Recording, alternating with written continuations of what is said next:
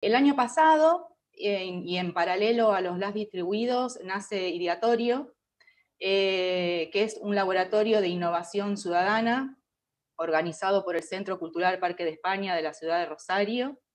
Ideatorio, eh, de alguna forma, es el primer eh, laboratorio de innovación de la ciudad que congrega políticas colaborativas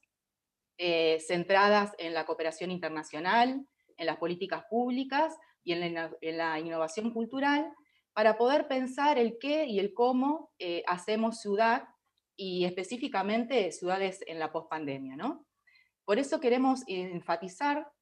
a través de este laboratorio em, también algunas cuestiones que tienen que ver con eh, la cooperación al desarrollo, a la innovación específicas de la ESID, eh, el rol de las ciudades en ese marco, eh, lo público, la esfera pública, para poder repensar las instituciones, las prácticas participativas, eh, la apertura de los gobiernos, la digitalización también de los gobiernos. Pero, por supuesto, eh, ¿cómo, ¿cómo hicimos o cómo hacemos este proceso?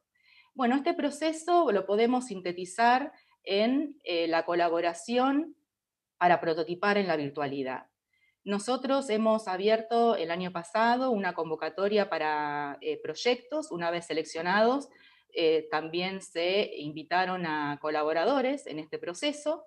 Esta virtualidad y esta eh, diversidad de proyectos nos permitieron pensar en metodologías propias digitales, ya que el, el laboratorio fue enteramente hecho en la virtualidad,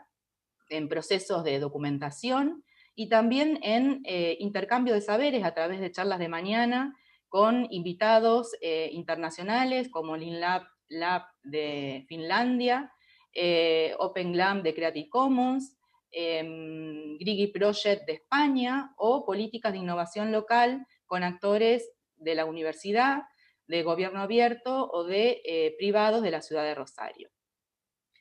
Eh, por supuesto que eh, eh, este laboratorio o la colaboración, este qué y cómo pensar los laboratorios no existiría sin el quiénes. Em, en el año pasado se, se,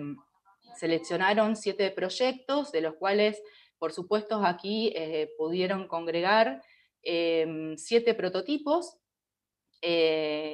referentes a eh, grandes ejes como la transformación institucional, eh, las prácticas participativas y también la innovación, por supuesto, en el ámbito cultural. Todos estos siete eh, prototipos que se llevaron a cabo y se concretaron en nueve jornadas, tuvieron en cuenta recursos o idearon recursos tendientes a la innovación en las políticas públicas, para crear normativas locales, participativas, políticas ambientales, culturales, y también eh, reutilización de software abierto, eh, hardware abierto para la ciencia, para las políticas públicas, o para pensar también políticas de accesibilidad en la cultura en la ciudad de Rosario.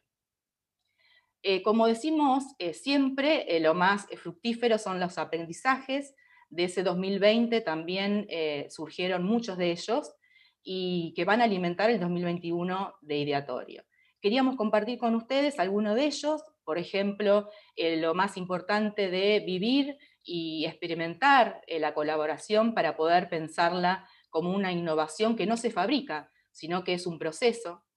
que necesitamos también repensar qué y cómo hacemos metodologías para los laboratorios, eh, que la colaboración en el entorno virtual no es una mera réplica de lo presencial, y por eso eh, le pusimos tanto énfasis también a lo afectivo y a lo emocional en lo virtual, en el ideatorio,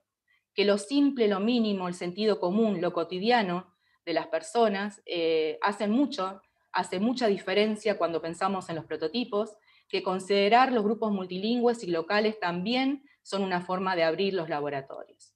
Finalmente, eh, como les contábamos anteriormente, Ideatorio continuará en el 2021 en el Centro Cultural Parque de España, si ustedes siguen sus redes, su sitio web, van a encontrar todas estas noticias.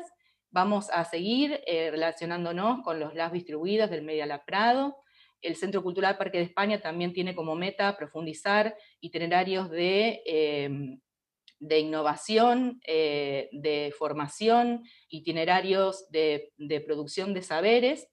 eh, y más que nada también relacionados a eh, la temática o ejes específicos de este año 2021 para una nueva convocatoria en los sectores medioambientales o ambientales, el feminismo, el desarrollo y por supuesto la cultura